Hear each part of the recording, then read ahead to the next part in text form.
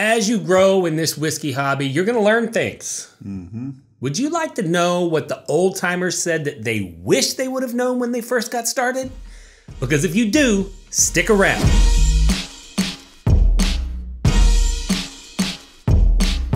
So, we have Bourbon Real Talk community. Yeah. We crowdsource information for this podcast there. Mm-hmm. And I asked the question of the whiskey old timers what are some things that you've learned along the way that you wish you would have known when you first got started in the hobby? Yeah, absolutely. And boy, did they deliver. There's lots of things. I'm not even a, a whiskey old timer, and I've got things I wish I knew Right. a few years ago. Right? They gave so much information that when I got done writing it, I realized this has got to be a two parter. Yeah, Okay, so you're watching part one. yeah, And stay tuned next week for part two to get all 12 of the recommendations. But we're going to get through as much as we can this week. We want it to be consumable for you. sure. So definitely subscribe, ring that bell so that you get the reminder next week when the next episode comes out. For sure. All right, so first off, as usual, we have to start off with the disclaimers. Of course. And uh, we this is all crowdsourced. So if there's some lesson that you've learned that uh, you're like, why didn't they say this? Well, the community didn't mention it. Right. And we added some of our own stuff in there as well too. Sure. So, yeah, absolutely. uh, but let's just jump right in. Let's do it. uh, with the lessons. Yeah, there's lots of them. So the the first, and we basically broke it up into categories. Yeah. And then we're going to talk about some of the more specific things they said. So the the first thing, the first category is how you drink your whiskey affects your experience. Absolutely. Whether or not it's a positive or a negative experience, it's affected by how you drink it. Yeah. And a number one, no shots. Nah, yeah, please. Please. In fact, never ever do shots. There is never a time that you should ever consume that amount of alcohol and that amount of time. And the next morning you regret them. I You'll promise. regret, yeah. Um, and the next recommendation was to warm up your palate. Yes, I, I totally agree with that, and that's one of my regrets as well. Is you just jump right into the good stuff right off the bat. And one thing that I've learned is obviously after you drink for you know a couple ounces, your palate starts to kind of warm up and develop, and then you really start tasting some things that weren't there before. So Mm-hmm. Right. great. So so go slow, right? I want you to nose the glass, right? Really get in there and smell it. Um, it does help with the burn of your nostrils if you part your lips a little bit. Yep. when you're when you're breathing in um, and start off with very small sips and use your tongue to push it around your coat your entire palate and your body will naturally Yeah. proof it down because you'll start to salivate and that's how you can kind of ease your way into it without like just boom all of a sudden you've got you know all of this heat on your palate Right. and so that's what we mean when we say you know warm it up Yeah. and uh, the next thing is your palate takes time to develop Yeah. right? And so, uh, what some people get discouraged, they start watching reviews and they're like, I don't taste marzipan. Mm-hmm. That's okay, right? You might later, you might not ever. Right. There's only one thing that matters. When you put the whiskey in your mouth, does it taste good or Right. does it not taste Yeah. good? Right? And and on that note, I mean, understand that there is some value to listening to those videos and those those reviews. But at the end of the day, everyone's palate's different. And so just because someone gets butterscotch on a tasting note, and so you love butterscotch, so you run out and buy that bottle as quick as you can. If you get home and crack it open and don't taste butterscotch, especially on the first pour, uh, don't be discouraged because there's a good chance that your palate isn't theirs. Yeah. And so don't totally don't okay. use that as an opportunity to get discouraged about a bottle and a particular palate taste. Yeah.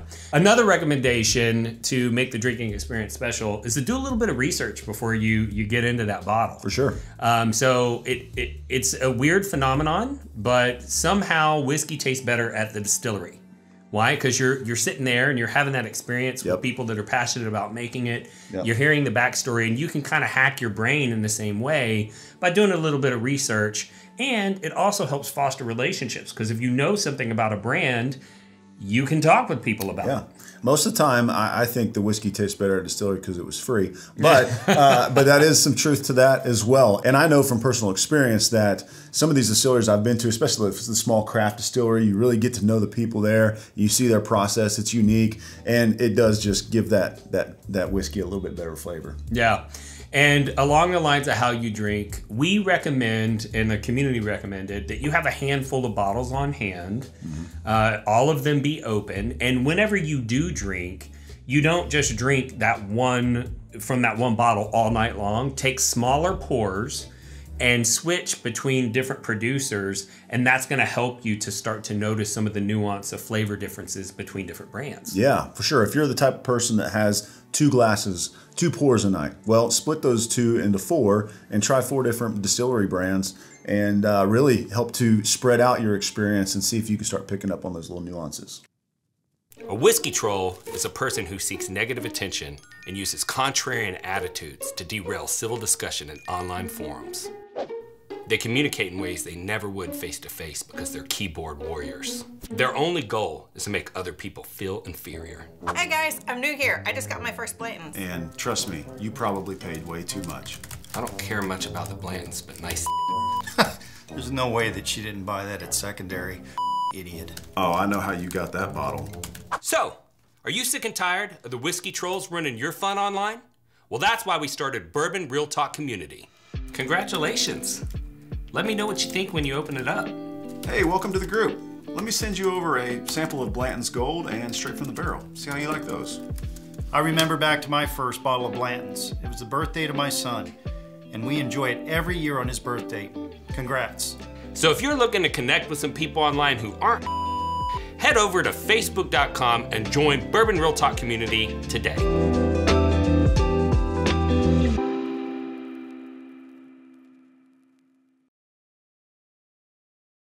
Another tip was a drop of water or a piece of ice will completely change the flavor. Right. Yeah, that could be good or bad for some people. Right, right. But if you're trying something that's a little bit hot, you know, you want to throw a drop of water in it. I've had those experiences before with Mm-hmm. cask strength whiskey. Uh, it can really make the difference. Yep. So don't be afraid to high, to add it to especially the high proof stuff. But also, if you're just getting into your whiskey journey, um, even a hundred proof whiskey may be a little bit too much for you to go from drinking mixed drinks to straight neat bourbon. So don't be afraid to don't be afraid to drop a little water in there, and don't feel bad about it. Yeah, but go slow. Yeah. Um, I've seen too many times at distilleries we're trying something, it's going to be bottled at a lower proof, and somebody goes, "Oh, we should proof it down and see what it's going to be like." And they grab their bottle of water and glug glug glug, and Yeah. it's like, "No, you took it from 120 to like 20 proof." Yeah, this is twelve proof. Now. Yeah, Enjoy go go go slow with with adding the water and the ice, and and see if you can find that sweet spot. So, and I also recommend that when you're tasting, um, that some of the time you have a bourbon flavor wheel available. Sure. Uh, because it'll help your your mind be able to focus on eh, are am I experiencing these flavors? Yeah, I mean, and I I used to, and I still do. I've got a little note section in my phone that if I'm trying a whiskey for the first time, I'll make a quick note on it. You know, as I'm tasting it, just so I can refer back to it. If someone said, "Have you ever had this?" I can give them accurate information, at least from my experience. So, All right.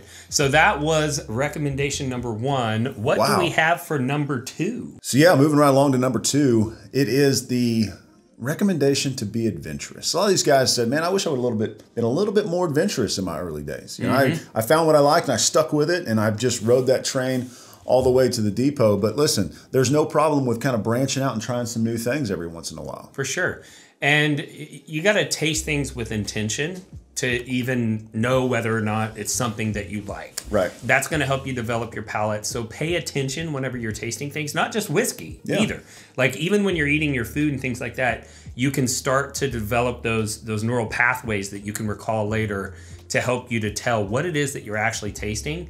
And that's part of being adventurous is trying new things. Yeah, and, and part of one of the greatest things about being in a bourbon community, which we absolutely recommend that you are a part of one, if not only online bourbon real talk community, but when you have those great bottles that you come across and you're not quite ready to branch out yet, and when you are ready to take that step, reach out to some of those experienced drinkers and say, hey, here's a bottle I really like. Mm-hmm. What are some other options that are kind of in that similar vein, maybe that similar mash bill that I might like as well? And they can help point you in a direction to try some new things, at least in a more intentional way. Sure.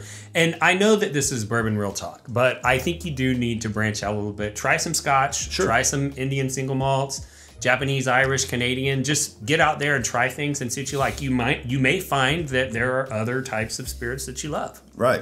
And hopefully flavored whiskeys isn't one of them. And you said it earlier about being at a distillery. Uh, try local. Yeah. Um, if you if there is a distillery nearby, you should definitely get out there and try and experience it, and and go do the tour. I mean, it really does make the drinking experience better when you've got that background information. Yeah, for sure. And it shows that you're in it for the right reasons. When you start building some of these relationships with the smaller stores, whenever they have their own drops, and with distilleries that might be in your area, it really kind of just sets you up as, hey, I'm in it for the whiskey community and not just for the whiskey. And that brings us to recommendation number three, hmm. which is to pick a store or a small number of stores. Yeah. And build a relationship. Yeah. I mean, so so many times in the early days of someone's whiskey journey, they're just trying to find a bottle, right? And they don't care where they buy that bottle from. They're they're they're they're, they're just on this hunt for this one bottle that they heard something about. And the detrimental side of that is that you never get to build that relationship and probably get access to that bottle a lot quicker than you would have in the first place. Right, right. So when you go in, talk, have pleasant conversations. Yep. Bring samples of other things that you have to offer if you know that they're a drinker. Offer to open the bottle so Sure. that they can try it. That way they know you're not going to sell it. Be kind. Support their picks. If they Yep. do single barrels, you should buy some of their single barrel products. Um, and it's not a bad idea to learn their disc- delivery schedules and what time they stock Mm-hmm. if they're a first come, first serve store, because some stores are. Yeah. And that could be a very crucial piece of information. Um, and then when they ask, uh, can I help? Let them help. Yeah, absolutely. I mean, there are some very knowledgeable people that work at some local liquor stores, and they might turn you on to something that uh, that you haven't heard of before that you really, really love. Yeah, and one thing I would add to this is to most most of the time some of you drink bourbon, but there's also other things that you drink or your spouse drinks, right?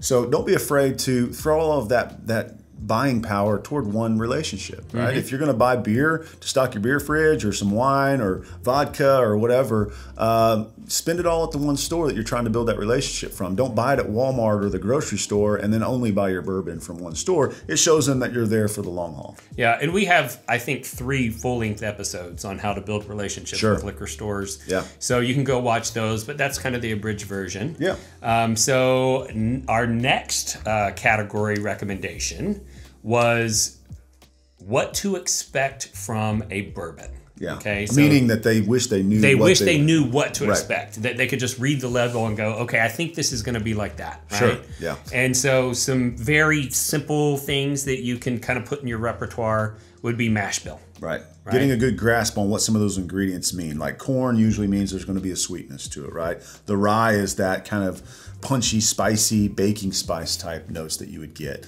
The wheat is again more on the softer side, a little bit more uh, easy to drink for some people. Usually has a little bit of a fruity and citrusy taste with it as well. So Right. keep that in mind when you're thinking mash bill. Yeah, and then age, right? Because a lot of bourbons have an age statement on them. Generally speaking, if it's under six years old and it's from Kentucky, it might be a little bit grainy. It might have some sharper uh, flavors, if you will. Like, it, you know, when you're tasting it, there's something that kind of sticks out and it's Sure. kind of, it, it feels sharp. Um, but then you get to the six to 12 year bourbons. Those are typically more balanced and integrated, and, and you don't have those sharp flavors. I, I refer to those as like a round mouthfeel, which Right. sounds strange. Right. Um, and, and then over 12, it's like suspect, right? Right. You never know. sometimes they're just over oaked and they're bitter and tannic and they're off balance and they've lost all their fruit. Uh, and sometimes they're still delicious. So, um, but you know, knowing what to expect can help you to make some good purchasing decisions. And also know with regard to age, i- i- things age very differently in Kentucky than they do in Scotland. And so, where 18 years would be kind of on the low end of the premium range for Scotch, uh, that would be on the super high end of the premium age Sure. range for bourbon. Yeah.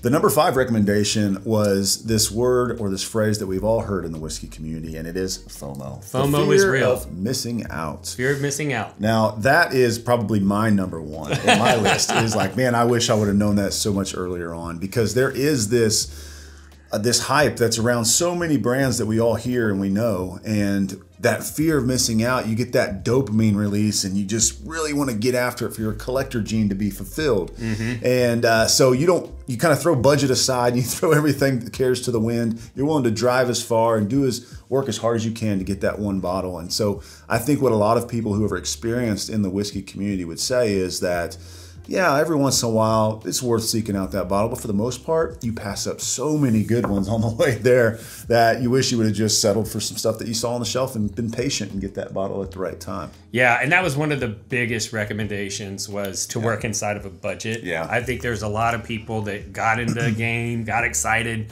went nuts, spent a bunch of money, pissed their spouse off, right? And and a lot of people kind of regret that now. Right. Yeah, absolutely. And so, you know, they were saying, look, don't overpay. right. Have the patience to to build the relationships, you buy the bottom shelfers, all that stuff. And then when you do get that bottle, it'll be that much more rewarding. Yeah, and, and also you've got to know that there are other versions of elevated experiences outside of just hunting down a pappy. Right. There are store picks and single barrels that give you that extra oomph and that kind of rarity and it makes you feel like you really got a good bottle that's not available to everyone. It still makes you feel like you got a good pick. It's also going to be at that high proof, that really good, uh, typically a barrel strength, and it's uh, it's it's a win. It's, a really win. a win. Yeah. And that actually brings us to the next the next point number six is because you don't want to blindly follow the whiskey tube or XYZ podcast out there and chase whatever they say is good because Right. your palate is different. Yeah. Right. So again, save these experiences for something that you have already tried multiple times in your journey and you know you really like it, then go chase the bottle. this was one of my favorite ones because I'm I'm arguing against myself, Yeah. right? Uh, but it's true. Uh, Right. If if you pay much attention out there, you know eh, you don't know they could be in they may be influenced in saying what they're saying because of views or Mm-hmm. you know that you get more uh, views giving a negative review of something that's popular than Sure. than vice versa. There might be sponsorship uh, issues at play. There could be politics at play, right? Right. Um, and so you can't always trust exactly what they're saying. Plus, your palate might be different. But a, a lot of people said if you're going to pay attention to reviews, and, and there is a place for reviews, they can Sure. be Yeah, helpful. absolutely. You need to watch some reviews of the reviewer where they're tasting things that you're familiar with Mm-hmm. and see whether or not you agree with them when you know what it is that they're tasting. And it makes it that more likely that you will agree with them when they give you a recommendation for something you haven't had before. Right, and it also helps you to understand if their palates are similar to yours as well. If they're picking up on some notes that you've tr- you've you've picked up on separately in trying that, that's a good sign. And because sometimes, to be honest, the tasting notes are for show. Right. Right. Somebody said, "I've been looking at the reviews for such and such, and they're all oh, it was the uh, the the uh, Knob Creek 18." Okay. And they're like, people are saying so much different stuff. I don't know what to believe. And I just commented, "We're all full of drink what you like." Yeah, drink what you like. Right. Everyone's palate's different. Right. And Randy's coin phrase is the palate wants what the palate wants. That's And right. That's just what it is. So That is one through six. That's all the time that we have for Yeah. this week's episode.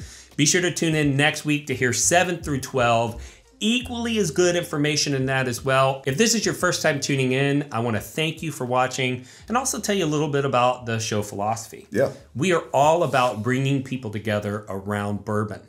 And that's something that's personally important to me because I lost a loved one to suicide in 2014. And in the aftermath of that, I was looking for a way to make a difference in other people's lives so that they wouldn't feel the lack of community that my brother felt when he made that decision. And I started noticing how bourbon had a power to bring people together, even people who would normally not had had a connection in life. And I thought if whiskey's that powerful, maybe I could get people connected to whiskey and the whiskey will do the rest of the job and get mm-hmm. people connected to each other. So that's part of the reason why we started the show. Along the journey, though, we did see kind of the negative underbelly of the enthusiast community online, and that's trolls. And there were a lot of people being hateful to strangers online.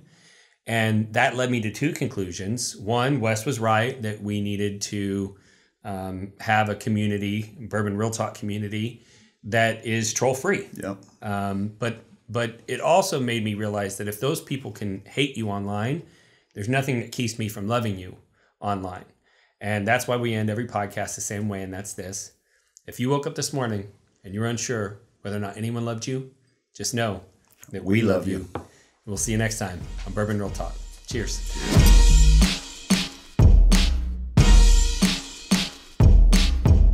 I know. So let's wrap it up. Let's wrap up this episode and encourage them to stay tuned for next week and watch the. Oh, yeah, yeah, know yeah. what I'm saying? Like wrap this episode up. All right. The palate wants what the palate wants. That's where you come in and start talking. Oh, because I have to do the f***ing outro. Yeah, you're doing an outro. All right, you ready? The palate wants what the palate wants. Hold on, you gotta put that. You gotta put that in outtakes. Yeah, because I mean, I had the blankest look on my face you're like, I've ever. I was like, I don't. What's he? Keep going. What the f- are you doing? what are you doing? God, that was great.